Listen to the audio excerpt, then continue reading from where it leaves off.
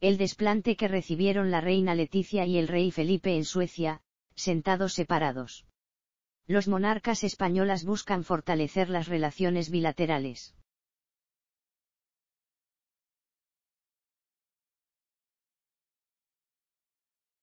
Este jueves, el rey Felipe y la reina Leticia daban por finalizado su viaje a Suecia con una celebración muy importante, la cual terminó con un reconocimiento especial para los monarcas españoles.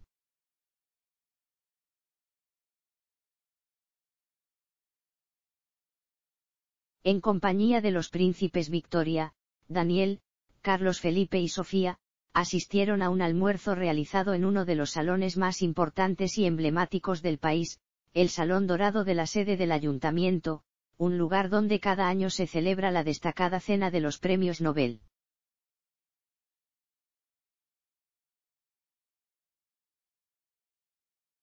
En el desarrollo del evento, se le concedió a la reina Leticia y al rey Felipe la llave de oro de Estocolmo y también tuvieron el privilegio de firmar el libro de honor de la ciudad. Una visita de tres días que, sin duda alguna, termina de una forma muy especial.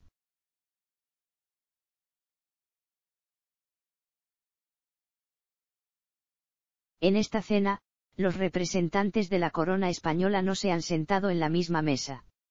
La reina Leticia compartió con Sofía de Suecia y otras importantes personalidades, mientras que el rey Felipe se sentó con Carlos Gustavo de Suecia.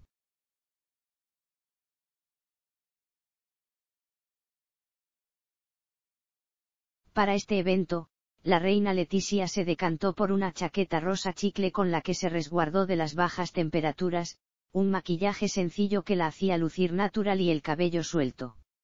Al entrar al recinto, dejó ver un vestido largo midi con corte base que, hasta ahora, no se le había visto, pero que dejaba al descubierto una vez más su estilo y elegancia.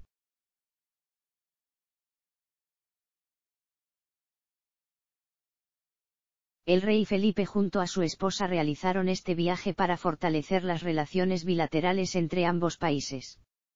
Para concluir esta visita de Estado, los reyes de Suecia fueron los invitados de honor a una recepción en Villa Bistrom que culminó con la despedida oficial de los reyes de España.